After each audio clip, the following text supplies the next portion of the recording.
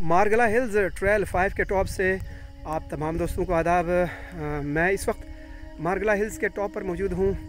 सूरज almost गुरूब हो चुका है, बहुत ही खूबसूरत एक मुकाम है और मेरे पुश्त पर आप देख सकते हैं, आज से दो साल कबल इस जंगल को आग लगी थी या आग लगा दी गई थी।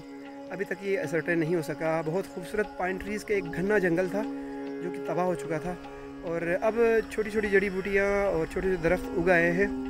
और अब आहिस्ता आहिस्ता यहाँ की खूबसूरती बहाल हो रही है। आज ईद का दूसरा दिन है। लोगों ने बड़ी तादाद में जानवर कुर्बान किए मुल्क के तूल अर्ज़ पर और लोग तरह तरह के, की डिश से महजूज हो रहे हैं। और, आज बड़ी तादाद में लोगों ने पार्क्स का भी रुख किया है। कुछ लोग अपने साथ मैरिनेट करके गोश्त लेकर पार्क्स की तरफ़ जा रहे हैं और कुछ लोगों ने बना बनाया है, पका पकाया अपने साथ गोश्त और दीगर डिशेस लेकर पार्कों का रुख किया है। मैं और बहुत सारे और दोस्त जो कि हाइकिंग के शौकीन हैं वो इस तरह की पहाड़ियों पर आ चुके हैं और इस मरगला हिल्स की अपनी एक अट्रैक्शन है, एक खूबसूरती है, जिससे हर आने वाला शख्स महजूज होता है लुफानंदोज़ होता है। ये मरगला हिल्स एक ही खूबसूरत डेस्टिनेशन है, इस्लामाबाद वालों के लिए, रावलपिंडी वालों के लिए और दीगर इलाकों से आने वाले सयाहों के लिए, मुकामी सयाहों के लिए। तो इस इलाके की खूबसूरती हमें बरकरार रखनी चाहिए। इससे कबल मैं आप तमाम दोस्तों का तोज्जो दिलाता रहा हूँ। यहाँ पर बड़ी तादाद में बोतलें और प्लास्टिक रैपर्स फेंके जाते थे। अब के बार मैंने देखा कि इन गुजरगाहों के ऊपर, इन ट्रेल्स के ऊपर ट्रेश बिन्स नस्ब किए गए हैं और ये जो भी कचरा होता है, लोग डिस्पोज ऑफ़ कर रहे हैं। कम अज़ कम लोगों में थोड़ा सा थोड़ी सी शूर आई है थोड़ा सा अकला है। तो अच्छी बात है।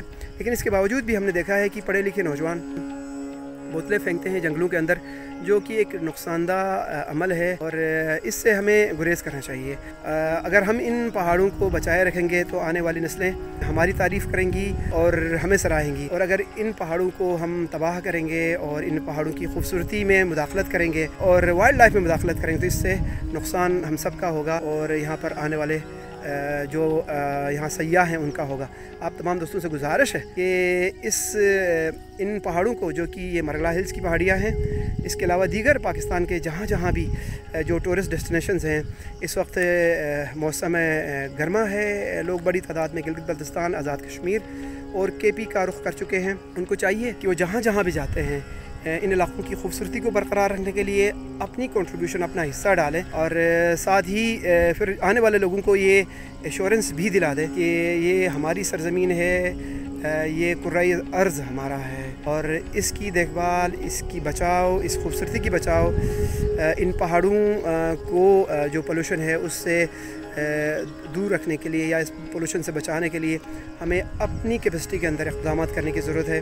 इसके अलावा हमने देखा कि पाकिस्तान की जो चोटियाँ हैं खसूस नागा पर्वत के टू गशब्रमवान टू और दीगर जो बड़ी पहाड़ियाँ हैं, ब्रॉड पीक उन चोटियों पर हर साल सयाह चोटियों को सर करते हैं। लेकिन उन चोटियों के टॉप पर हमने देखा है कि बड़ी तादाद में रस्सियाँ पड़ी हुई होती हैं ट्रेश पड़ा होता है। उन तमाम जो माउंटेनियर हजरात हैं, जो एडवेंचर स्पोर्ट्स से रिलेटेड लोग हैं, उनसे भी गुजारिश है। कि इन तमाम डेस्टिनेशंस को महफूज रखने के लिए इकदाम उठाएँ। इसके अलावा हुकूमत को, हुकूमत पाकिस्तान को भी ये कोशिश करनी चाहिए, बल्कि जो लोग ट्रेश फेंकते हैं उन पर नज़र रखनी चाहिए और कुछ एक सर्टन अमाउंट जो फॉरेन टूरिस्ट हैं या एडवेंचर स्पोर्ट्स से जो रिलेटेड लोग हैं, उनसे चार्ज किए जाएँ, ताकि वहाँ पर जो भी ट्रेश या जो भी पोल्यूशन है उसको किसी तरह से साफ़ रखने के लिए इकदाम उठाए जाए उन पहाड़ों की खूबसूरती को बचाया जाए। तो ये हमारा मुश्तर एक हमारी काविशें होनी चाहिए कि हम अपने माहौल को अपने इलाक़ों को आ, हर तरह की आलूदगी से बचाएँ।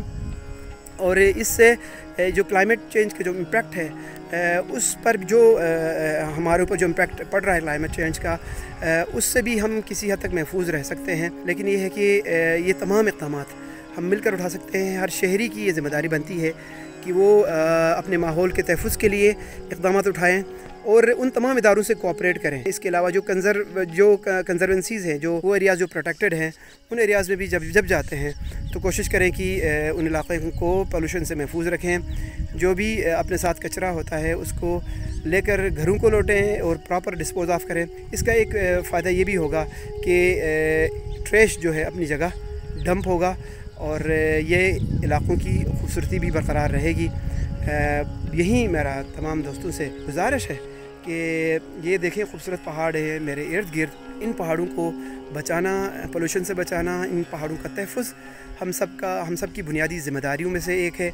और अब जब हम इस हरियाली को तबाह करेंगे, इन इलाकों को आग लगाएँगे और छोटे छोटे मफादात के लिए हम इन इलाकों को तहबाला करेंगे तो इससे नुकसान हम सब का होगा। इस नुकसान से बचने के लिए हमें अपना रोल अदा करना चाहिए हर कैपेसिटी में और खसूस नौजवान तबका पाकिस्तान का बहुत ही वाइब्रेंट है और उनको चाहिए कि ये कैंपेन्स करें और इस इलाके की खूबसूरती, इन इलाकों की खूबसूरती, पाकिस्तान के जो भी टूरिस्ट डेस्टिनेशन हैं, जो शहर हैं, जो गाँव हैं, जो देहात हैं, उन सबको महफूज रखना हम सब की ज़िम्मेदारी है और शहरों को भी पोल्यूशन से पाक रखना चाहिए। मैक्सिमम हमें सीजन्स में दरख्त उगाने चाहिए। और पार्क्स को की मेंटेनेंस पर काम करना चाहिए। जब हर इंडिविजुअल उठ खड़ा होगा तो यकीनन हुकूमतों में भी वो जज्बा पैदा होगा या हुकूमती एहलकारों के अंदर भी जो इन ये जो जिम्मेदारियाँ निभा रहे हैं, उनको, उनके अंदर भी ये जज्बा पैदा होगा।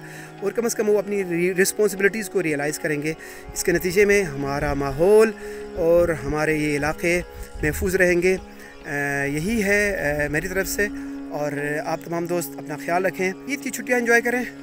और गोश्त उतना खाएँ जितना कि आप सह सकते हैं, जितना बर्दाश्त कर सकते हैं।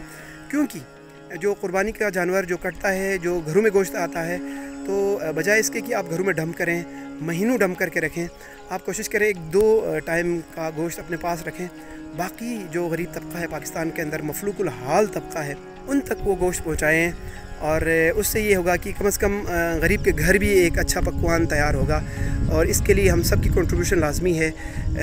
यही हम मुश्तर तौर पर जो लोग जिनके पास पैसा है, जिनके पास माल है, जिनके पास दौलत है वो सर्फ कर सकते हैं फ़लाह के लिए लोगों की।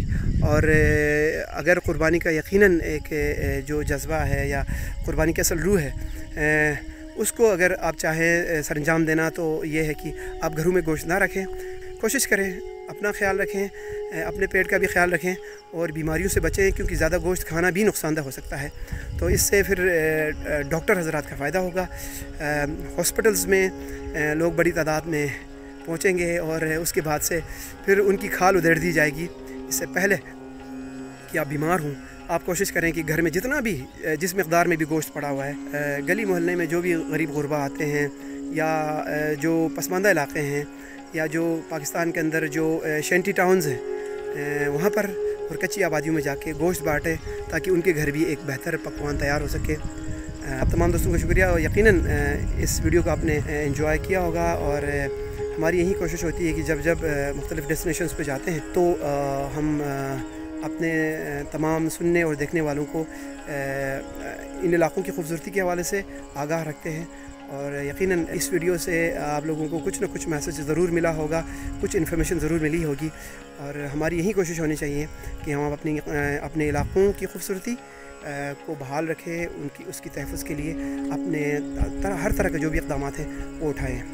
आप तमाम दोस्तों का शुक्रिया